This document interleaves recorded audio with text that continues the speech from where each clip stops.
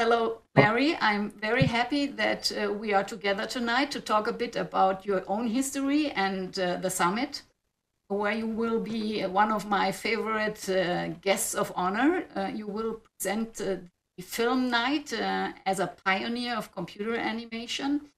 And well, my first question, of course, goes back to the very beginnings of your computer animation work um, it was probably somewhere in the 20th century. Uh, so how did, how way how, back way back in the 20th century. How did it come that you got in touch with computer graphics and computer art and moved into computer animation? Okay first of all thank you for inviting me to the summit. I'm looking forward to it and um, I started when I was studying architecture, and I got interested in filmmaking when I saw the work of uh, a couple of filmmakers, Jordan Belson and uh, Norman McLaren, and, and people like that. And this led me to the work of filmmaker John Whitney. And uh, that's when I discovered that he was making animated films with computers. And that idea had a profound effect on me, and I decided that that's what I wanted to do. Can you give us some some clearer picture? Which years? Uh, when did that happen? Yes, this was 1972, 70. and I, I to Los Angeles and enrolled in the California Institute of the Arts. And I tracked down Whitney to see if I could apprentice with him. He was okay with that, but he wasn't working on a film at that time. But through a Cal Arts connection, I was able to get access to the films at the Jet Propulsion Lab, the NASA lab, and that's where I made my first film. Okay, so you studied as an architect, uh, and did you get in contact with machines already, with computer machines, because architects maybe use them for their work? Uh, not at that time. There was no computers in the architecture department. Uh, I did take a course in computer science, a, a uh, elementary course in Fortran programming to see what it was like. But it didn't seem that interesting to me at that time. We weren't doing any graphics. It wasn't. Uh, it was just grade point averages. So I, I, I didn't think much about it until I heard about the uh, Whitney's computer animation. Okay, so th- th- this somehow intrigued you to move into that field. Yes, totally. I just said, that's it. I'm I'm going to California and I'm going to make computer animated films. John Whitney, of course, is is the icon, is the hero, is the godfather of of everything. So, can you tell us a bit more about your contact with him and and also about his person? Was he nice? These important humans tend to be a bit complicated. Well, it was complicated, but it was very nice. I enjoyed working with him very much. Um, after I made my film at, from uh, the Jet Propulsion Lab, um, Whitney called me and said that he had been given uh, computer time on a company where he had worked, and uh, but they weren't giving a, a programmer this time around like they did in the previous film. And he asked me if I would come do the programming for him. So that's how our collaboration began, and we made the film Arabesque. That was something. What did you think at that time? Were you clear that this is something that moves on and that is important for you and your life and, and your work, or was it just more like a hobby? What did you do at that time to earn money and live? Let's say this. Ask. I want to ask this way. I think I um, I I had a house that had two units, and I was renting out one of the units, so I was able to squeak by. But um, the uh, working with with John was terrific, and of course I um, was focused on that 100 percent. When you when you um, worked with John, um, this was already the digital world. Yes. also worked in the analog world. So uh, I, I saw that you have a big interest, obviously, in the analog computing systems too. So yes. can you maybe explain where you think they belong together and where they uh, evolve and, and how you think they, they fit together? They're very different, of course, when you're actually using them to, to make work. Whitney had, had built this um, uh, motion controlled animation stand in the 50s using an analog computer.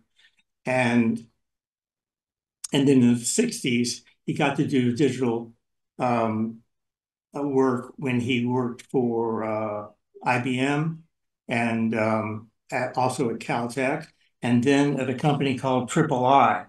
And he had made uh, a film called Matrix 3 at Triple I, and that's when they had provided the programmer. But then when he um, went back to make Arabesque, they couldn't afford to give him the programmer, and that's when I got involved. So we were already on his fourth or fifth digital film by that time. That was the early 70s.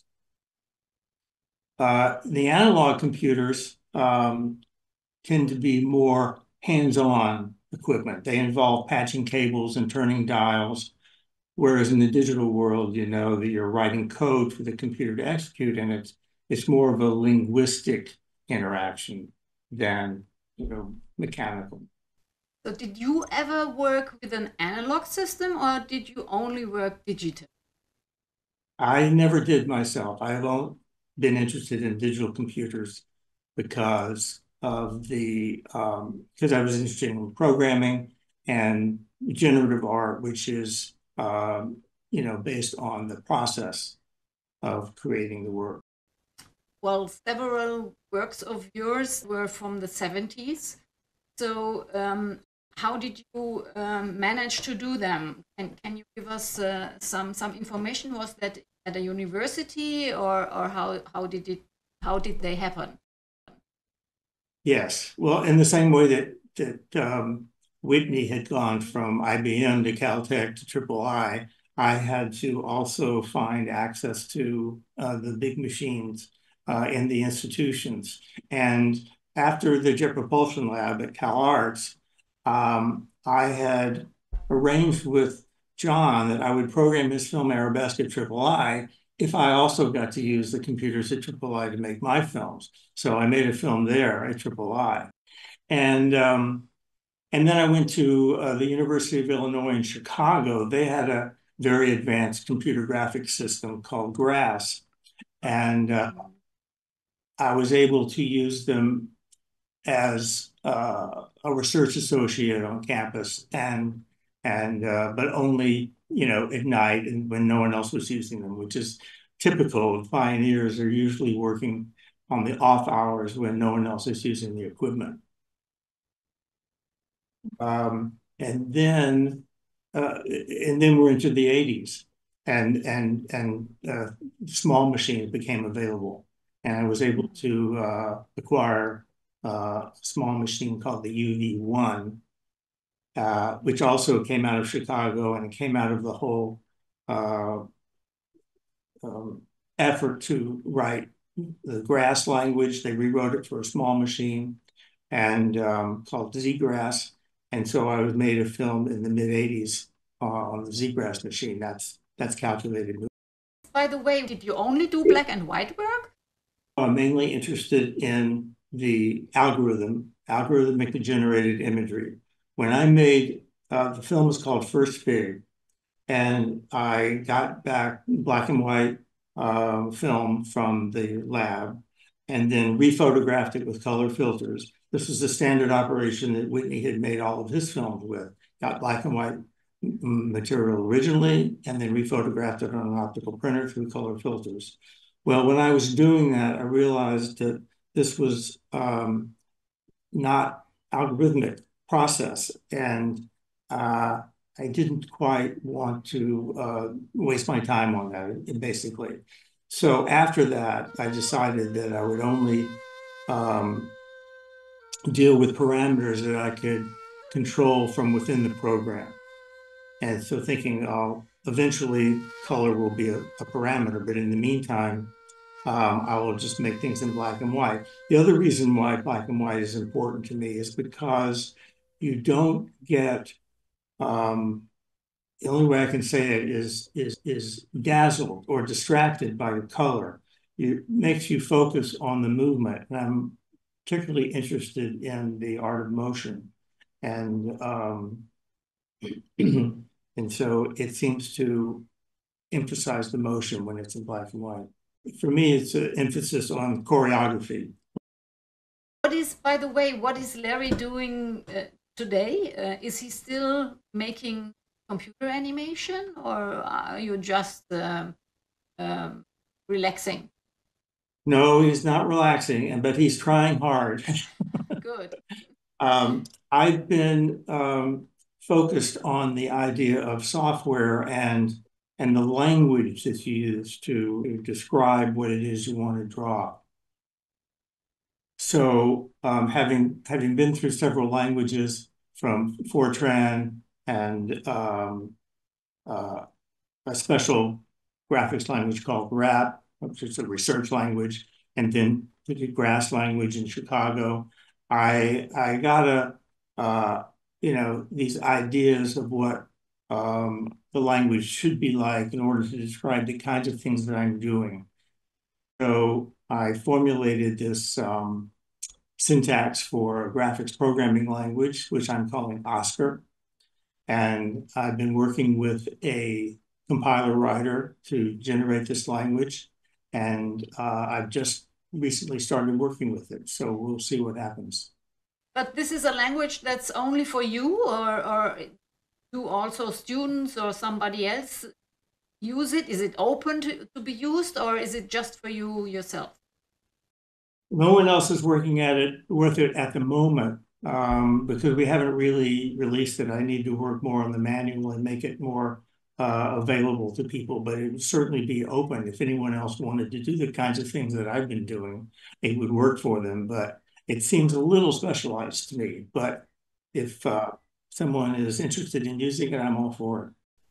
But you just mentioned we are doing uh, working on it, so that means you are doing it with, the team in a team uh, with other people with friends. I have, I have I have one other collaborator. He's he's actually knows about languages and can write the compiler for the language. And and can you can you give me a, an idea uh, what what the speciality of of the software is? What you can do very well, uh, or why you love it so much?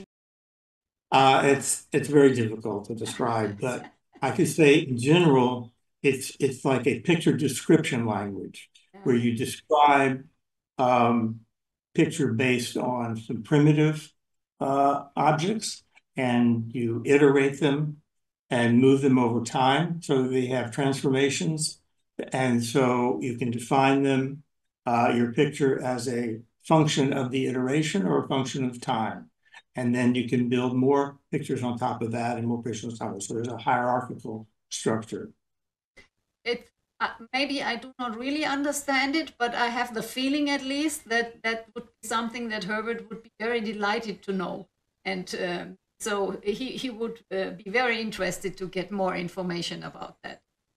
I think it's enough for me. okay. I, I have one question. Um, you can tell me whether you want to do that publicly or not. Um, I would so much love to hear a, a few words from your side uh, about Star Wars because you're, you're I know uh, I have the feeling that the Star Wars uh, subject is not very interesting for you, but uh, you know, for Herbert and me, it was it was something very special when we saw it first time in in the cinema. Give me some some infos how it worked and how you did come to that job and uh, was it was it incidentally or how or was it Whitney's con- connections? How did it come? Yeah, it, it, wasn't Whitney, but it was Cal Arts because a lot of Cal Arts students were working on the film. Um, uh, George Lucas, the director, had, had hired a number of students from different film schools around Los Angeles, and um, someone who was working on the film knew that the scene needed some animation. They weren't quite sure whether they were going to do it by hand animation or computer animation or what, but they were opening uh, it up to proposals. And so he called me knowing that I had made that film from Jet Propulsion Lab, that it was like the first computer animated film at CalArts, so pretty much all the CalArts students knew about it.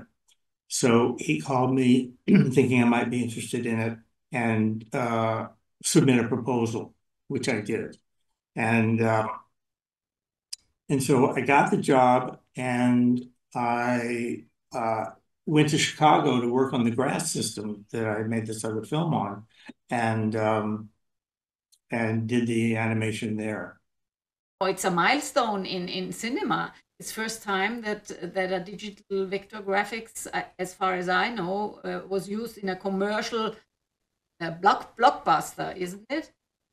vector, if you qualify it as vector graphics, it's true. The previous example was more of an image processing uh, thing that um, was in the Westworld, where they simulated the view of a of a robot by by processing it, but it wasn't vector graphics.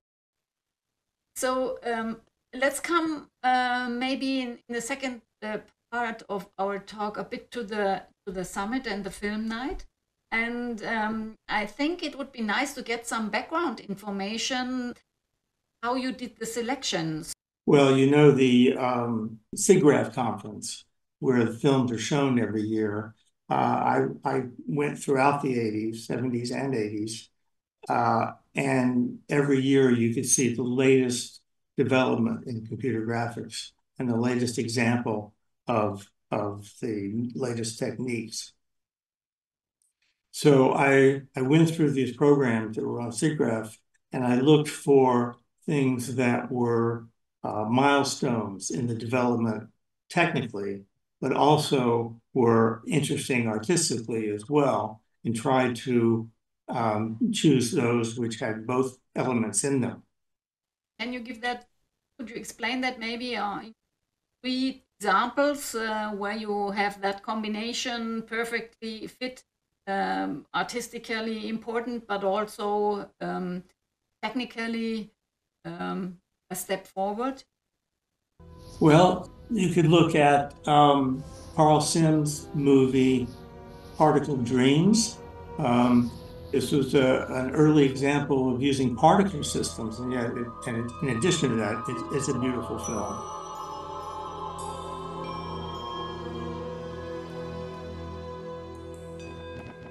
how about the, the Pixillation? Do you, do you like that film? Oh, Pixillation. Now, uh, yes, this is Lillian Schwartz's film. Uh, it was made on the BEFLIX system at uh, Bell Labs that Ken Knowlton developed. And also Stan Vanderbeek worked on that uh, system as well. Uh, we have a, a great little clip of uh, Stan Vanderbeek and Ken Knowlton talking about uh, the work there. And I did try to include some of these uh, documentation films that show the pioneers uh, explaining their work or explaining their systems that they developed. From my perspective, from my perspective, also um, is, is very important because it had it had this movement of, of bodies of of uh, living living beings uh, first time constructed from the in internal view. Uh, I think that is also very important and also the artwork is very nice. Yes, I agree. The, um, the dancer's movement is very natural and believable. And there's also the birds flying around. It's, it's demonstrating the flocking behavior. This is Craig Reynolds' algorithm where he developed how um, birds and fish flocking um, uh, are animated.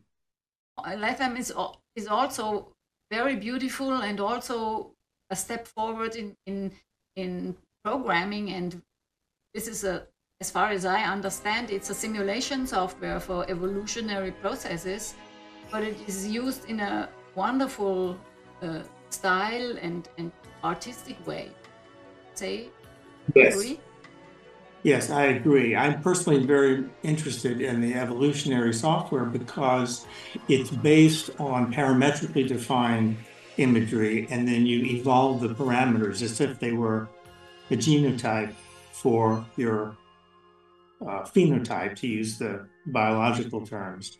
So, um, so it, um, that's, that's definitely an example of a, both a technical and an artistic breakthrough. And you had one uh, um, film where you said the fractals, first time fractals were used. In oh, fractals. Yes, that's a beautiful film by um, Loren Carpenter. Loren Carpenter. Loren Carpenter. And he was working in Boeing at the time. And he used fractals to render very detailed mountains landscapes. It was the first time to do that. And of course, we do that all the time now. It's interesting to see these techniques appear at SIGGRAPH for the first time where, where the developers are presenting them. And then within a few years, they're, they're off the shelf in uh, commercial software and everybody's using them. It's, it's uh, fascinating. So um, thanks a lot, Larry, for being with me and sharing your your thoughts and and memories uh, of the past. And I'm so much looking forward to your presentation in in Berlin. And have a safe trip uh, to Berlin and to Germany. And uh, yeah, I would say bye bye. And, uh, Thank you. Thank you. It's been my pleasure. I appreciate it. Take care.